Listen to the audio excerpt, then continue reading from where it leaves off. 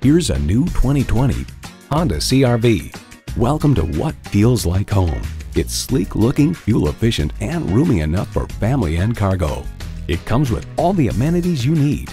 Intercooled turbo inline four-cylinder engine, front heated leather bucket seats, streaming audio, auto dimming rearview mirror, dual zone climate control, remote engine start, AM FM satellite radio, power sliding and tilting sunroof, doors and push button start proximity key, and memory exterior door mirror settings. It's a Honda, so longevity comes standard. Driving is believing. Test drive it today.